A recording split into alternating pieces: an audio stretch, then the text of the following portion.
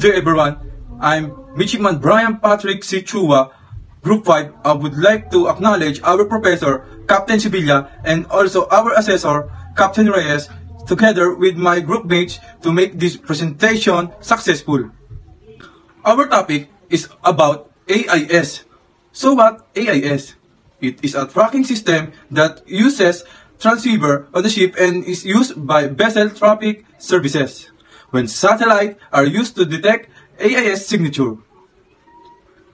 So first, we just press the power on button and now, as we can see, it is initializing, then after that, press the display button and the information about the target will be shown and this vessel are the vessel nearby. It includes the name of the vessel together with their bearing and range.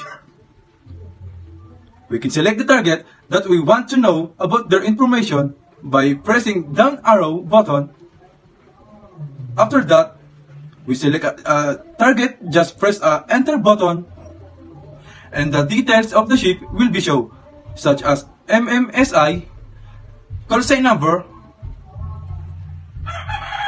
IMO number, CPA, and TCPA, then press the down arrow button to, to see the latitude, longitude, SOG, COG, and other information of the ship target. That's all. Thank you. Good day everyone, I'm Mr.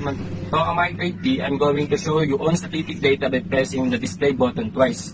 The information about our one vessel we show consists of MMSI, call sign, name of the vessel, and IMO number to see the other information of our ship like the destination of estimated time arrival.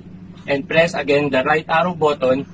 The right arrow button will show the drop of our own vessel and remember the menu button will serve as our own vessel. And remember, the menu button will serve as our back button or quit if you want to return the previous page. Thank you. Good day everyone. I am Midshipman Arieta Brian Michariji. Now we will proceed to the menu. To see the other information, just press the menu button and we can use the down arrow button to select. So now we can see all the information such as message, sensor status, internal GPS, user settings, initial settings, channel settings, and diagnostic. Now I am going to show you the information contained in diagnostic. Press the enter to select diagnostic and choose the transponder test and press enter. Now we see the memory and GPS test. So first open the memory test and press enter. And it shows the data determined to its condition of status and press the menu button to back and select GPS test by pressing the down button arrow and enter to show the status. For the last press, the display button to return in target list. Good day everyone, I'm Midshipman Lapis Raymart and now I am going to present how to use nav status. First we're going to do, press the nav status button and enter. As we can see, one of the status details which is at anchor and press right button arrow to see other details which are at anchor, not under command, restricted maneuverability, constrained by draft, moored aground, engaged in fishing crawling, underway sailing, reserves for high-speed craft, and underway using engine. Then, press the right button to see the destination of our vessel and press again the right button and to see the arrival time and press again the right button to see the number of crew on board and also the type of number and the, to see the drop of the vessel. After that, press the right button arrow. Now to go back to the target list, press the display button. Thank you. Good day everyone, I'm for Fortes Mark Lobijin L. Now I'm going to show you how to send a message. First is press the menu button and enter. Then now we can see the create message, text log and RX log. Enter the create message. And now see the contained in create message. Then enter the set message. Type it show, the address, type MMSI, type channel, then enter the message type to select a safety of normal, then enter, and press the menu button, to back. Then press the right button, arrow to, to see a message. We can set message through the using of up and press right arrow to to type the another letter and press right arrow for the next letter. Then after input your message, just press enter button.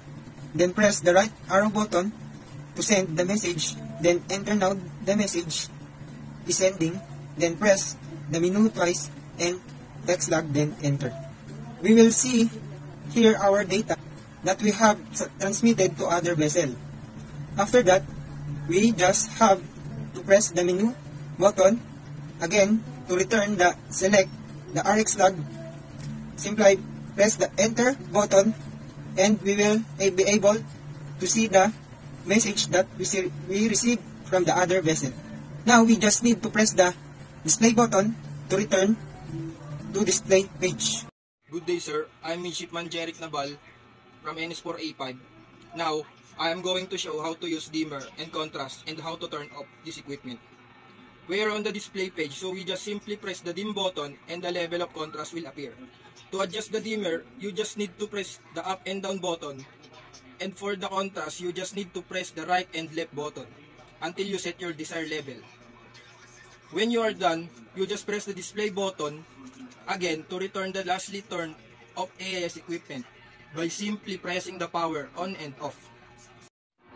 As a student of Philippine Merchant Marine School, my motivational quote is, Life is like an ocean, waves will try to knock you down and push you back to where you started. But once you fight through them, the entire ocean is yours. As always, thanks for watching. See you next time.